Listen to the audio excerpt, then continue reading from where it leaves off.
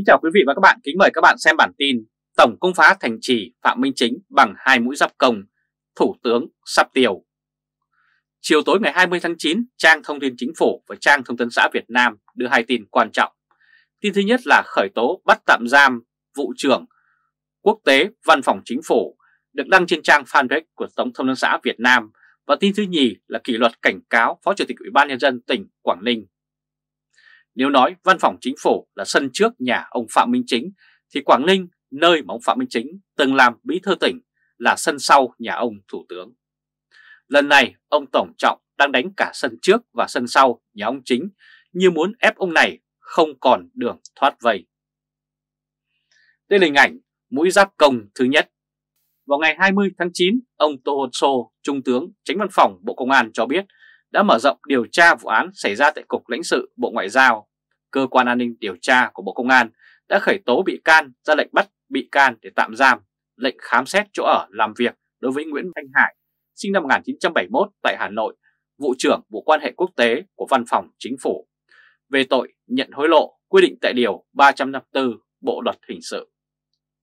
Sau khi Viện Kiểm sát Nhân dân tối cao phê chuẩn, Cơ quan An ninh Điều tra Bộ Công an đã thực hiện tống đạt quyết định khởi tố bị can, thi hành lệnh bắt bị can để tạm giam, khám xét chỗ ở và nơi làm việc đối với bị can này.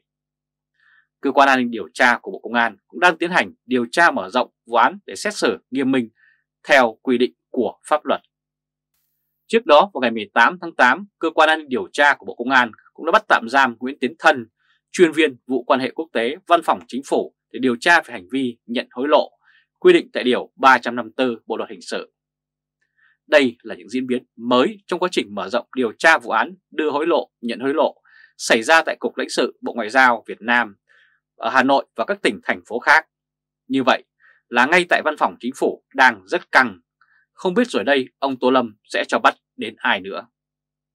Cũng trong ngày, trang thông tin chi tiết thông tin của chính phủ cũng đã cho ông Phạm Văn Thành, Phó Chủ tịch Ủy ban nhân tỉnh Quảng Ninh nhiệm kỳ 2021-2026 bị kỷ luật do đã có những vi phạm khuyết điểm trong công tác và Ban chấp hành Đảng Bộ tỉnh Quảng Ninh đã thi hành kỷ luật về mặt đảng.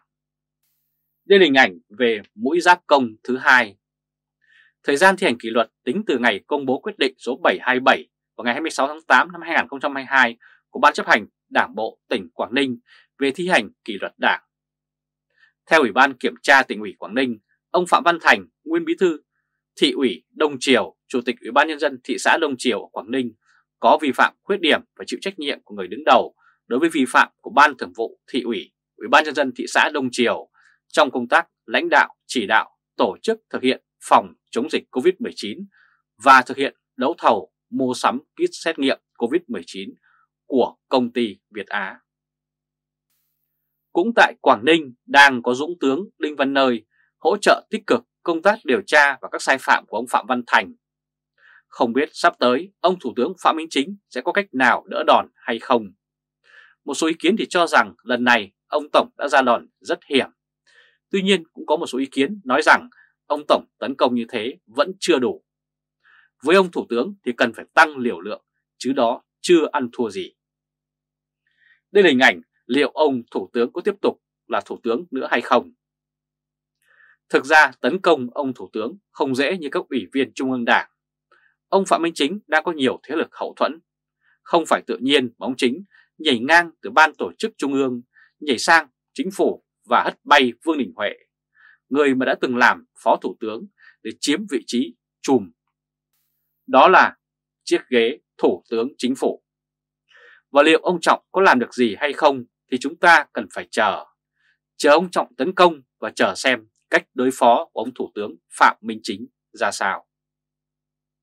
Kính chào quý vị và các bạn, kính mời các bạn xem bản tin Việt Á bùng cháy lửa tới nhà Vũ Đức Đàm. Việt Á đã bùng phát thời kỳ này làm nhiều người quan tâm, quan tâm vì nó tống vào lò một ủy viên Trung ương Đảng là ông Phạm Xuân Thăng, bí thư tỉnh ủy tỉnh Hải Dương. Lần thổi bùng phát vụ Việt Á lần này đã chạm tới nguồn ủy viên Trung ương Đảng vốn đang rất dồi dào, đó là cấp bí thư các tỉnh trong cả nước. Câu chuyện hối lộ chính quyền của Việt Á đã bị phanh phui nhiều tháng qua, vẫn còn những diễn biến khó lường. Kỳ này hứa hẹn hàng loạt ủy viên Trung ương Đảng sẽ nối gót Phạm Xuân Thăng vào lò của ông Tổng Trọng. Theo như Thời báo chấm được biết, nhiều lãnh đạo ở các tỉnh, bộ ngành trong tầm ngắm của cơ quan điều tra và Vũ Đức Đam là một cái tên mà ông Tổng đang cân nhắc nên im hay nên xử. Đây là hình ảnh ông Phó Thủ tướng Việt Nam Vũ Đức Đam. Theo nhận định của một số người trong ngành y tế, người đầu tiên chịu trách nhiệm trong vụ mua kit xét nghiệm của Việt Á với giá cao ngất ngưỡng ở cả 62 tỉnh thành phải là Bộ trưởng Bộ Y tế và người thứ hai là Phó Thủ tướng Vũ Đức Đam chịu trách nhiệm về mảng văn hóa, xã hội và y tế. Ông Đàm đã có thời làm bí thư Ban cơ sự Đảng Bộ Y tế, Ủy viên Trung ương Đảng, quyền còn to hơn cả Bộ trưởng Bộ Y tế.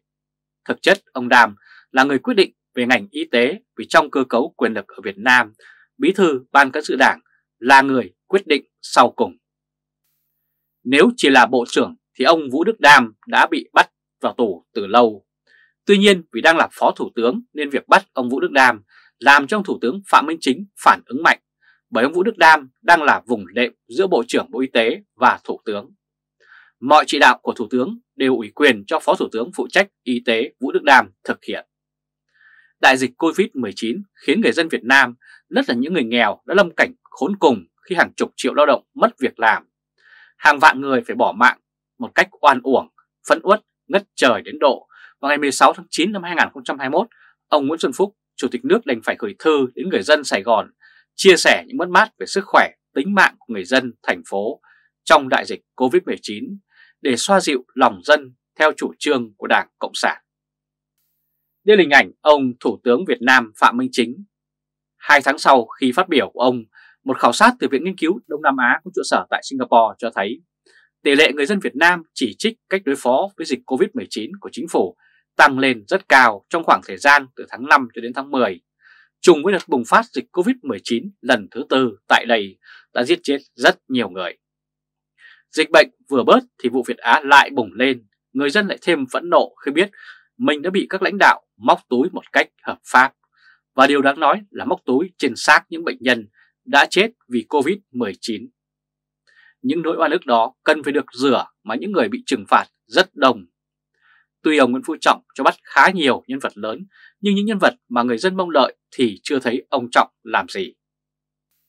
Vụ Việt Á chính là một mâm cỗ rất lớn, không ai ăn một mình cả, mà trong đó phải nói phu nhân của Chủ tịch nước Nguyễn Xuân Phúc liên quan đến đường dây này một cách rất nghiêm trọng. Giờ đây, ông Trọng cần phải xử lý ông Phó Thủ tướng Vũ Đức Đam chứ không thể chần chừ. Ông Trọng đã từng phát biểu rằng chống tham nhũng không có vùng cấm. Nhưng dường như nhà Vũ Đức Đam vẫn là một vùng cấm địa mà ông Trọng đang phân vân nên chạm vào hay không. Đây là hình ảnh ông Nguyễn Phú Trọng muốn hạ Phạm Minh Chính thì phải khui ra sai phạm của Vũ Đức Đàm. Để hạ được ông Thủ tướng Phạm Minh Chính dọn đường cho Vương Đình Huệ lên thì ông Vũ Trọng cần phải truy đến cùng sai phạm của ông Vũ Đức Đàm. Ông Vũ Đức Đàm đã từng làm trưởng ban chỉ đạo quốc gia về phòng chống dịch COVID-19. Và đến ngày 24 tháng 8 năm 2021, ông Phạm Minh Chính đã thay ông Đàm làm trưởng ban này. Và cứ như thế, những vấn đề trong ban này ngày một sinh sôi nảy nở để đến bây giờ nó trở thành một trọng án lớn. Với vai trò là trưởng ban chỉ đạo quốc gia về phòng chống Covid-19, ông Vũ Đức Đam phải chịu trách nhiệm khi để xảy ra vụ Việt Á, mà ông Đam đã bị thì ông Thủ tướng khó mà thoát khỏi trách nhiệm liên quan. Vì thế lần này ông Nguyễn Phú Trọng cần phải dí lò lửa vào nhà ông Vũ Đức Đam thì mới làm cho người dân Việt Nam hài lòng.